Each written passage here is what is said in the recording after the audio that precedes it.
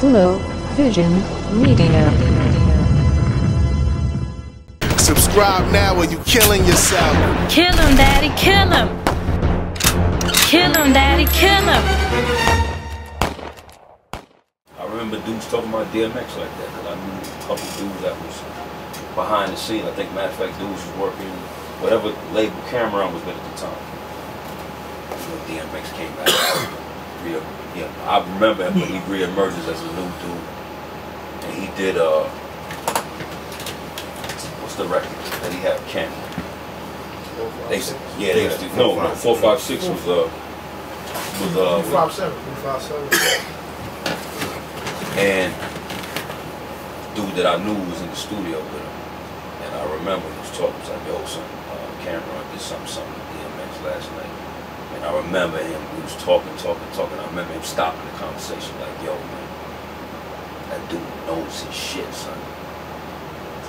And it kind of just made me, because at that time I really didn't, you know, I was new to, to doing certain types of structure. So like if you call me to get on a record, I'll be able to know that, okay, my verse supposed to be this long, but in terms of, you know what I'm saying? Because that record is, they used to play that record in the tunnel and that shit just would be like,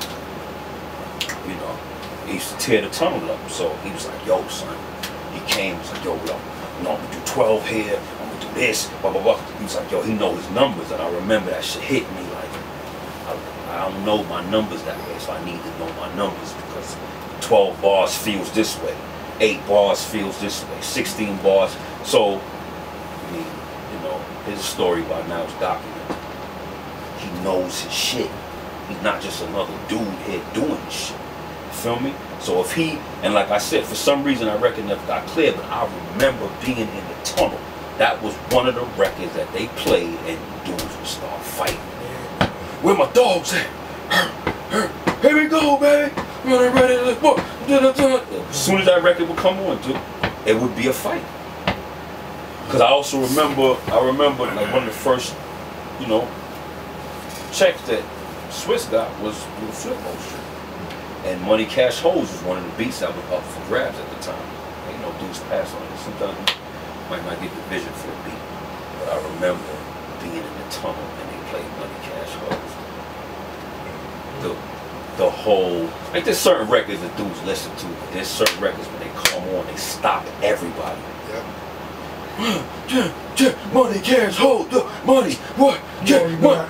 You, wa- when you walk like past the bar in the tunnel and you go this way and you start to go by that little back area, there's people that's in the back area, they moving to the same shit the people over here moving to.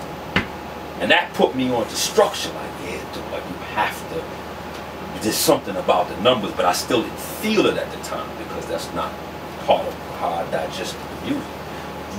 It's dudes that know you have to know this shit, man, because this is different. And there's not enough dudes that know this shit, especially coming from where we coming from now, because our heyday is sampling. James Brown samples, loops, chopping, shit like that. But, you know, that shit created jobs. You know, Biz Markie was the dude to take the first hit for that when he put out that um, Diabolical album or whatever it was. And that album was so sample charged, but then De La Soul put out their album. When they put out their album, they ain't clear nothing. So now you got sampling firms that's listening, like, oh, that's Steely Dan. that's that's Jimi Hendrix. That's this, that, and that's that. They get paid. I actually heard, as of most recent, that they lessen the time that you can chop something and don't get charged. Oh. So it used to be like like a second or something like that. They they've made it shorter now. Mm. Like that. Yeah. They've made it They like shorter. that than that. sound. That's crazy. Like, That's funny. that comes from all- And there's certain people that, you know, the history about them, like Anita Baker, you can't sample her joint, John Coltrane can't sample none of the stuff. You know, that, that history's there. But the dudes that come from the S950, SP12, Roger Rogerland MP60, them dudes, of course, like as time moves on, but you had to know how to do this and how to talk shop amongst dudes. You do records with certain dudes. You might be from this clique, I might be from this clique. You might be like just know a dude talent wise, but when you sit down with somebody, you be like, yeah, son, knows his shit. It's a different level. now you just got people who basically feel like in common to who they know they can buy their way into shit. And what we come up with because we all from Brooklyn, but we basically all from from the neighborhood, man.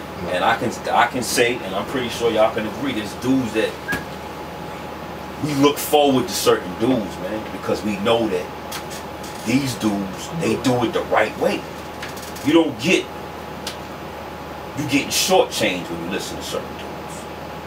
You know what I'm saying? You don't get the hat, bat, cat, rat, sat, swag rhymes. You get work when you listen to certain dudes rhyme. Like the new Nas album, you can hear the work. Like Work, oh, right. and lyrically he's always there. But like I was saying earlier, when his music is fitting what he's doing, there's nothing like that dude. Right. You know what I'm saying? So you, you I can't, especially that I've been there myself. I'm not gonna ask people who don't first organically feel this shit and two don't come from it and expect them to know how this shit is supposed to operate. Yes, you in the audience. Yes, you in the office. Yes, you have money, but you don't know this shit. Period. I've heard, I've watched dudes listen to a beat, and the beat is dope. But in, let's like one perfect example, Black Rob Walker. That record was a fucking monster. That record was a Godzilla monster. He does that record anywhere to this day. That record is crazy. You said, whoa? That's why I don't like this shit no more, man. These niggas from where I'm you know what I'm saying?